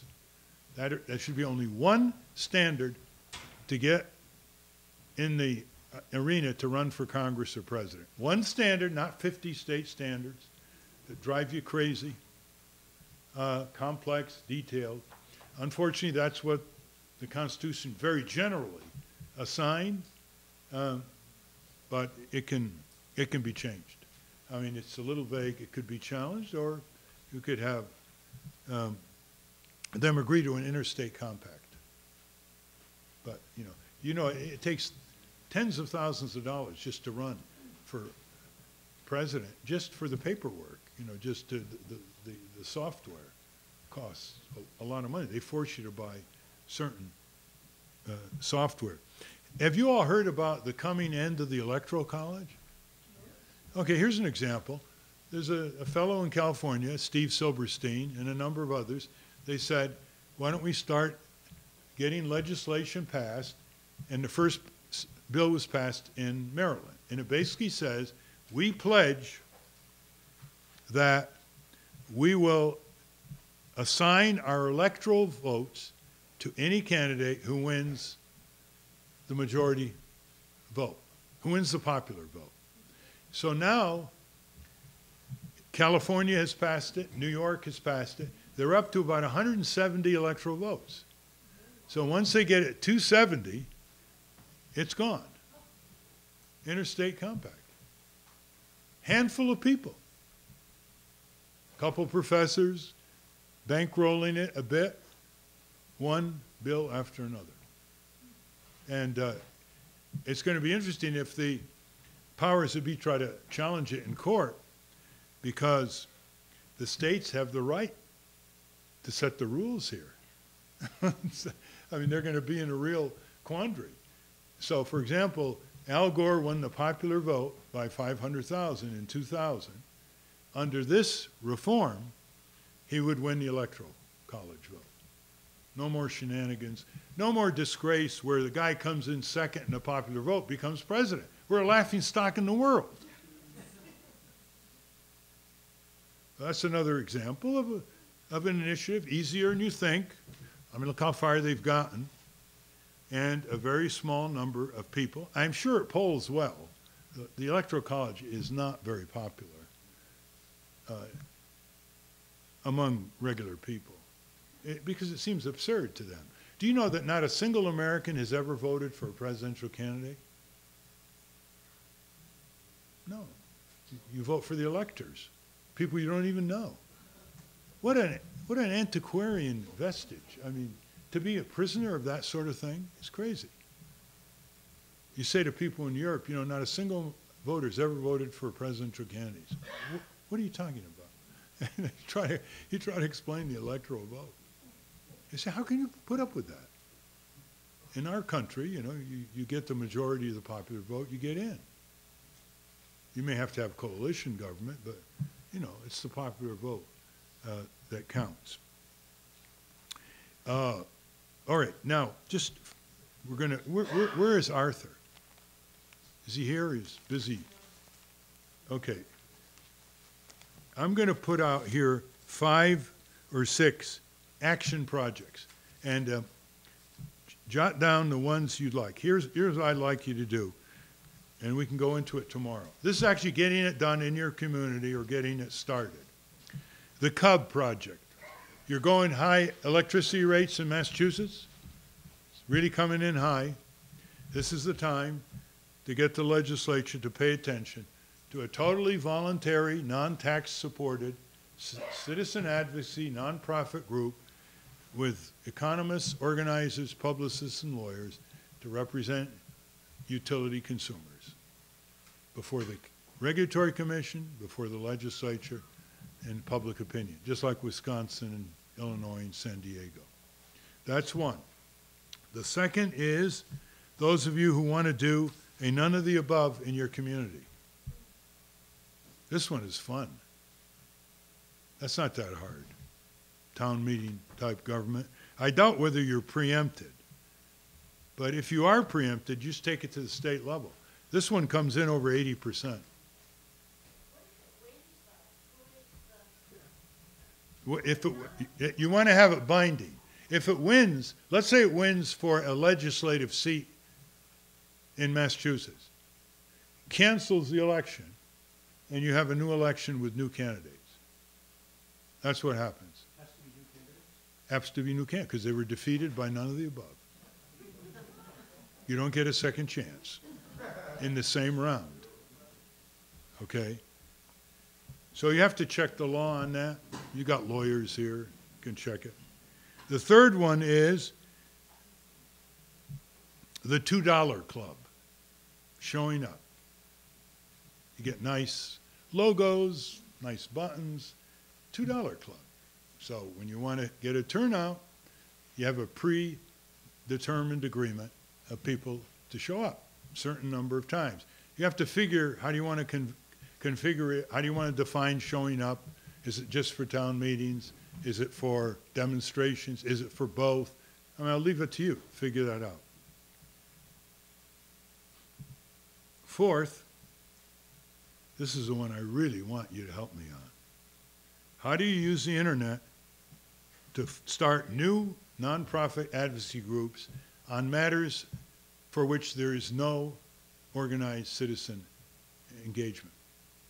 And my favorite examples are biotech and nanotech, but there are others. And what we need are 10,000 people to, to give an average of $30 a year to hire the full-time people necessary to start breaking ground in this area. Nanotech is in 5,000 products. You'd never see it. And they all tout the benefits. It's going to direct the drug right to your cancer without getting your entire body. They never talk about risks to workers, never talk about risks to their technologies. They never talk that they can develop drones now as tiny as a beetle that they can put in your hair to subject you to surveillance or on your windowsill, looking like a beetle, like a Japanese beetle. That's just the beginning of nanotech. It's, it, it's beyond science fiction, but it's here. And it's subsidized overwhelmingly by tax R&D dollars. All right? So that's the one. You show me how to do that. Those of you who are good on computers and networking, forever, forever grateful. The fifth is have a FOIA prize in your high school. You get a, a teacher in social studies, and they're, they're going to teach the students how to use the state and federal Freedom of Information Act, and you know, it's ready to go. It's tiny print, but it can be put in a more presentable graphic form. They will never forget it because they own it. They're writing a letter to a government official saying, open up your files. You shouldn't be secretive. This is completely type different than, you know, civics. Our government is made up of three branches legislative, executive, and judicial. No wonder there was a survey of high school students about 20 years ago where more of them knew the names of the three stooges than the three branches of government. Six, start civic training clubs. This is a real lot of fun. You start a nice social club, and with all that involves, and you become more and more expert. Just like you want to start a pottery club, you want to start a stamp collecting club, whatever it is, you see yourself getting better and better with all the great materials. And finally, is this. There's a small town in Alaska that needed to raise money without raising taxes for something, I don't know, a truck or something. So someone got the bright idea of having an election to see which pet becomes the honorary mayor. Okay? So it was unbelievable. They made national news. They elected a cat. And the cat has a nice place in town hall. And the cat is famous now, not as much as the one from the subway in Boston. This is a serious cat, okay? And then a community in Kentucky of 1,200 people ran an animal pet contest for honorary mayor, and they raised 20 grand. This is a poor area of Kentucky. 1,200 people in the town raised 20,000 bucks. So let's say you need a new snowplow, and the down payment is 50,000 bucks, and they won't increase the mill rate, and they won't give you the budget. And there's a nasty anti-tax group in town, as you know. Put forward, find out how they did it in Alaska. They'll be happy to help you.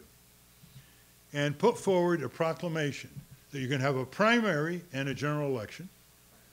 Because you have to have a primary because people are going to offer their cats, dogs, canaries, ponies, whatever. You could restrict it to four-legged animals if you want.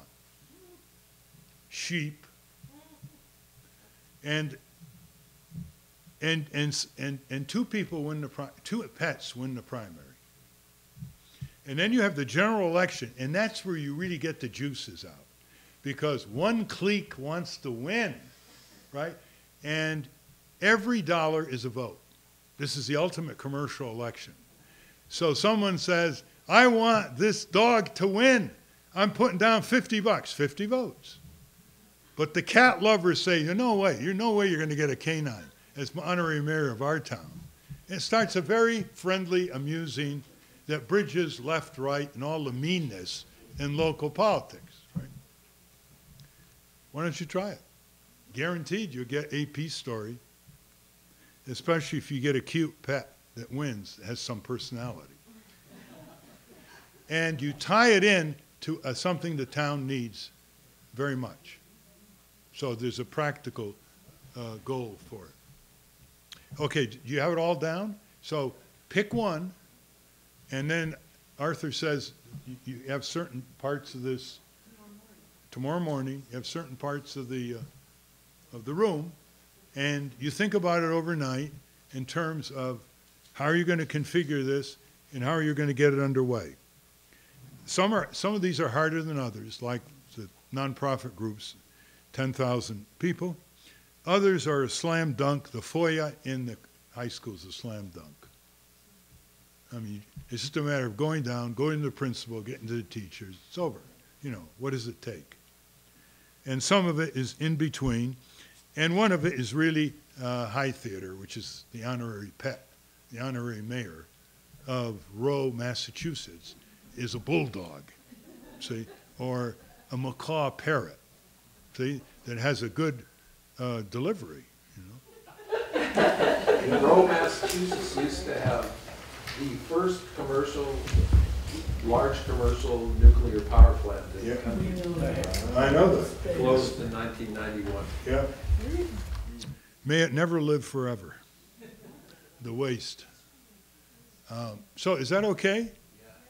Uh, a- a- And, and you go back and you get it done, and then th- this will really help the Rowe Center because Arthur's a very serious, savvy person.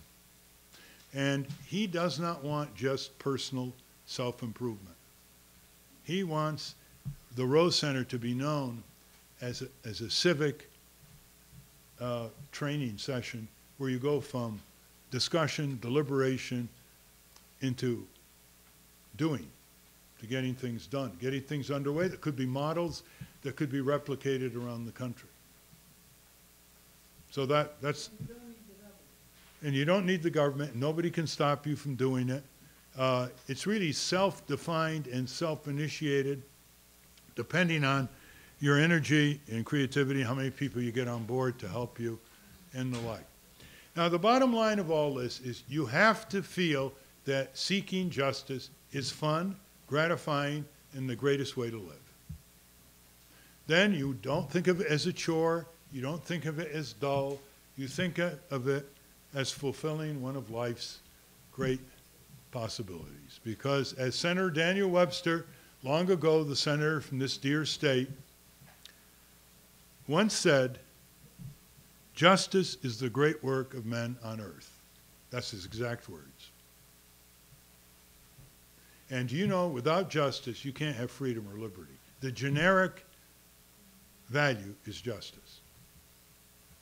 And uh, so you, you and, and when you break through and you win here and you win there, it really is the greatest feeling you can ever have. Because you'll be recognized for it legitimately and you want to do more.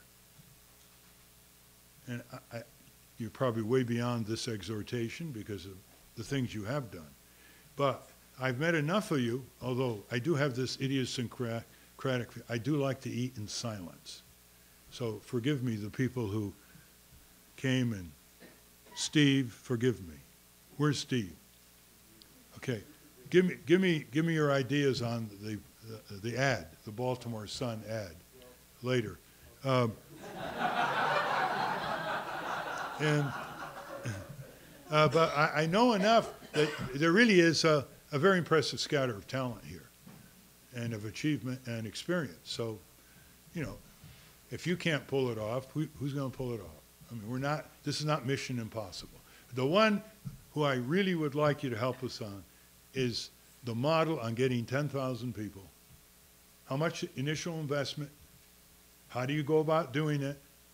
How do you take the first thousand and multiply it? Uh, we know how to set it up.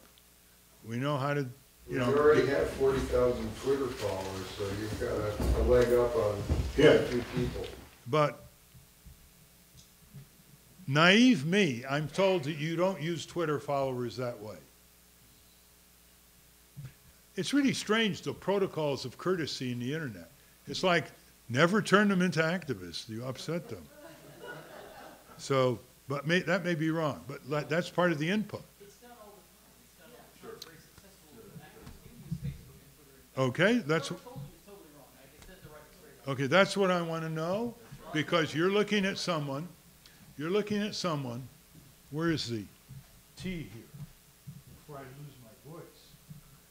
You're looking at someone who has no email, no computer, no computer. I work on an Underwood typewriter. When lightning knocks out the electricity, I'm the only one working.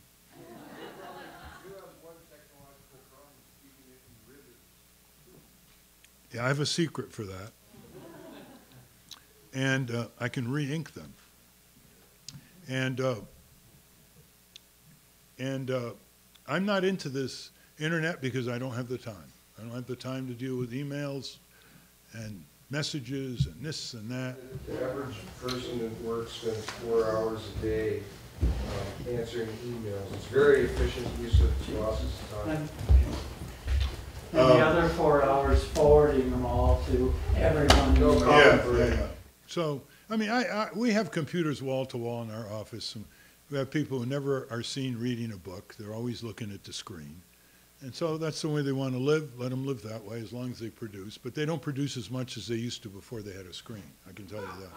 Not only that, they know how to, they knew how to spell. They didn't have to rely on a spell check.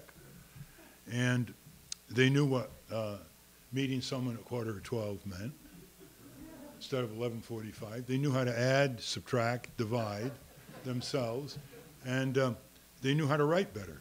You see, when you can erase so easily on it on the computer, you get sloppy on the first, second, third drafts. I don't like to erase on the Underwood. It's a nightmare. So I really disciplined myself to, to try to do it on the first round. Uh, However, you know, uh, they can do what they want. If that's the way they want to live, they want to walk down the street, 16th Street in Washington, looking like this. I caught up with a young man, and I said, "It's a beautiful day. You have birds in this, in this, in the trees, and all you're doing is doing this. Don't you feel you're a prisoner of this?" He- He said, "Yeah, I am a prisoner of this." And, and we reach a cross street, and I'm saying, uh, you know, this is a cross street. Yeah, thanks a lot. Yeah.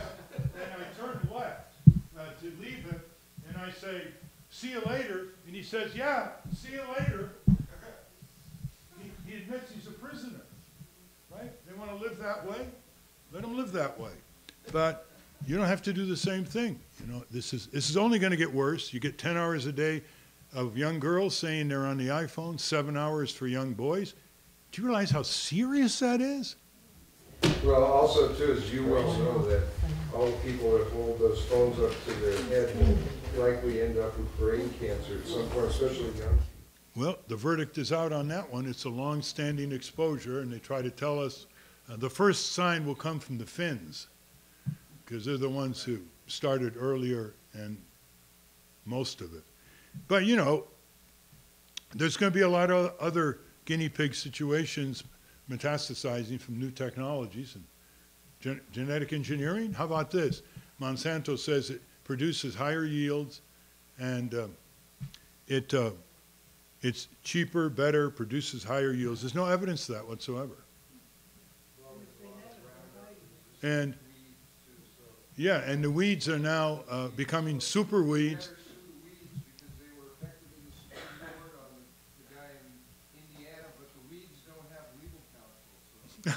Well, now, yes, Monsanto has, has produced an even more virulent herbicide because the weeds have mutated and have become more. I once talked to a big corn farmer in Iowa, and I said, why did you go genetic engineered corn? He says, because I can spend more time with my family. See, but now the weeds are coming back. But the other thing is, suppose you're a farm next to his farm and you don't want GMO, and it pollinates the non-GMO farm, and you can't sue for trespass.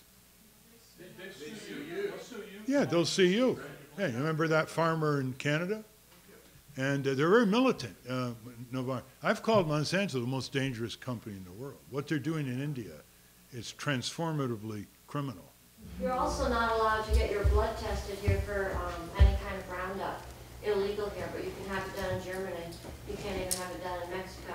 Well, the academic scientists can't even get the material in order to analyze Monsanto products because it's proprietary and they'll sue you. If you look at the contract that uh, farmers signed with Monsanto, it's total serfdom, totally one-sided. No rights on the farmer, totally one-sided. And so that's where we're going. So, I just have a quick question about the whole GMO thing, because I saw this, I think Bernie Sanders posted this on his Facebook page. He said that the FDA says that GMOs are safe because there's no difference, but the um, Monsanto has these patents because they're so different. So how is there this disconnect that one part of the government Well, says one thing and the other well, another? because you, you can, you can patent hybrid corn without GMO. I mean, there are a lot of hybrid uh, biologies within the species to make better, different kinds of apples, and you- you can patent all those. That's why they let you patent. But in genetic engineering, you have cross species. You can put a mouse gene into a food product, and they just have, they don't, they're flying blind. And uh, they feel nobody can trace it anyway. The government isn't investigating. The academic scientists can't do their work because they can't get the materials without fear of suit. Monsanto is all over the universities, and corporate science is dominating academic science. Corporate science is not peer-reviewed, it's proprietary, it's secret, it's politically powerful, it has narrow commercial uh, roles, goals. Whereas academic science is supposed to be open, self-critical, peer-reviewed, and have broader visions for new technologies, not just what will sell in the short term, however deceptively marketed. Now, there's a new book out called The GMO Deception uh, by, just came out by uh, Shelley Krimsky, who teaches at Tufts. He teaches at Tufts, Shelley Krimsky, K-R-A-M-S-K-Y. He, he's a science uh, historian, science ethics, and written a lot of books. The GMO Deception. It's a reader, right. There's good con- contrib- con- con- contributors. And you can see Scientific American basically said 10 years ago uh, in an editorial, this is Scientific American saying that the GMO industry is so secretive that they cannot be given credibility for their claims because they don't, they don't allow the evidence to be disclosed. Anyway, I wrote the introduction. I want you to read that introduction if you're interested in the way to take on a new proprietary technology. What, how, how you, how you take it, how you deconstruct it. And it's the same with all technologies. They all follow the same pattern. All corporate technologies follow the same pattern. They have secrecy. They make claims they refuse to justify. They try to suppress con- contrary, re- sorry, they try to suppress contrary uh, research. For example, when I took on the auto industry, uh, they had touched base on all engineering schools. There was no engineering research base criticizing conventional automotive technology for safety. They would give grants to MIT, to Rensselaer, to Caltech, and they would they made sure there wasn't any PhD in automotive engineering the way there was in Europe. You, you, would take mechanical engineering or aeronautical or civil engineering, but not automotive engineering for the biggest operating technology in the country. No. And so there was no technical output. There was no technical critique. And they got away with it because there was, there was, you don't have technical critique, you're not going to get regulation. And they had the standards system controlled by the Society of Automotive Engineers, which was a society funded by the auto companies. The committees were auto engineers from the auto companies, and the research arenas were automobile facility, industry facilities. So, you know, you, you begin to learn step by step how to deconstruct the process and throw the balance, the burden of proof on them. See, they succeed because they basically say, we don't have the burden of proof. You have the burden of proof to show that our technology is unsafe. Well, you can't. You don't have access to do it. And so you develop a construct where you uh, go on the offensive and shift the burden of proof on them in specific ways. And you see the whole dynamic change. Like I, I was, uh, I couldn't get on TV on unsafe and speed because you were never allowed to talk critically on, on television uh, of a car model. In fact, I was told by one producer if I was going to go on TV, I could not say Corvair. I had to say a medium-sized rear-engine car. Okay? So I went to Canada. Canada, we, Canada's given us so much. And look what we've done to it. I went to Canada on CBC, and they had this 60-minute type program. I think it was called This Week Has Seven Days. And it was really a great program. And the only, the only person they could get from Detroit to sit on the stage with me was an engineer from American Motors, the smallest company. And uh, so I started this way. They showed a picture of a car. They had a, a car, and the car had a huge horn, hood ornament. Well, most people don't realize is the hood ornament stabbed people at very low speeds, and sometimes people have got hooked by in parking lots at night. It's a spear. So I pointed to the hood ornament and I said to the engineer, could you tell me the advantages of this? And I pointed to the fins and I said, could you tell me the function of this? Well, I mean, imagine being asked that. One answer was it helped the aerodynamic functioning of the auto. It's totally absurd.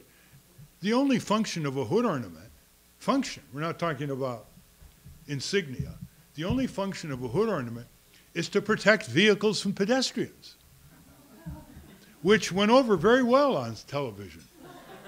But it was a small way of shifting the burden of proof and started opening a inquiry into the auto company's culpability on a, on much more significant uh, safety deficiencies. Well, I can see that. What time is it now? Yeah, that's plenty. I mean, thank you for sticking around so long. And, and so, uh, yeah. So, so you'll, you'll think about these categories and decide which one you want to take and huddle tomorrow and see what we can, uh, we, we can do.